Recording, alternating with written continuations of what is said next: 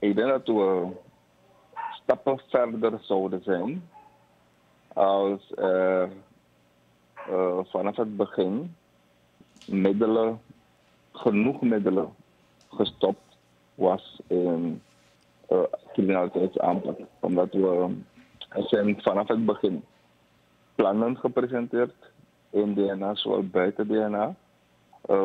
Duidelijke plannen om de criminaliteit terug dringen, zowel in Paramaribo, uh, de randdistricten en in het diepe binnenland. En er zijn goede plannen hoor. Uh, plannen waar uh, aan deskundigen hebben gewerkt, plannen waar zeker de DNA-leden uh, sectoren konden vinden of kunnen vinden. En er, blijft maar niets van over.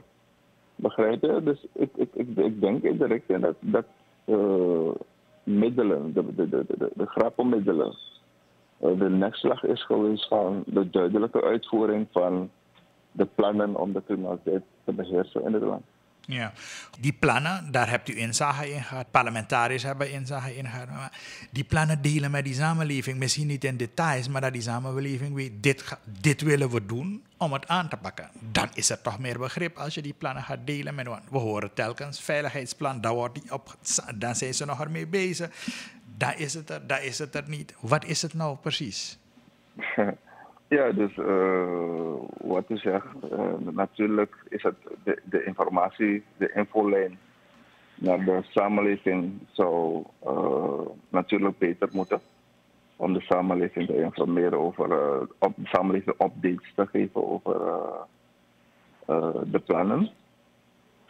zodat de samenleving weet waarover het gaat en zodat zij op hun manier weten hoe, hoe mee om te gaan of hoe hun bijdrage aan te leveren. Dus dat zou beter moeten. Ja.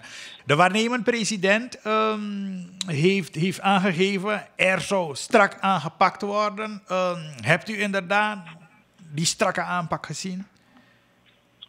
Ja, strakke aanpak zonder aanzien des uh, persoons. Um, we zullen niet alles prijsgeven, maar er zijn een aantal zaken uh, in planning.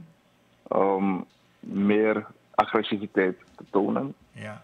uh, in, in, in, de samenleving en om het veiligheidsgevoel terug te brengen uh, in de samenleving. De VP uh, is een man van woord, hij heeft het beloofd en u ziet het, de zichtbaarheid binnen de kortste tijd. En ik hoop dat dit voortgezet kan worden tot bij de verkiezing en daarna. Dus wat u betreft kunnen we weer veilig binnen, kunnen we vanaf nu weer veilig lopen op straat en in onze huizen zijn?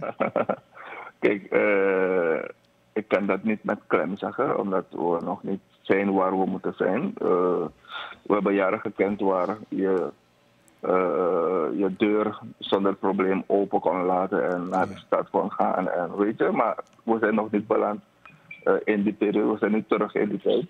Gelooft u dat we weer komen in die periode? Zeker niet. Zeker niet. We, we leven, we, kijk, we leven in een, een steeds veranderende uh, wereld.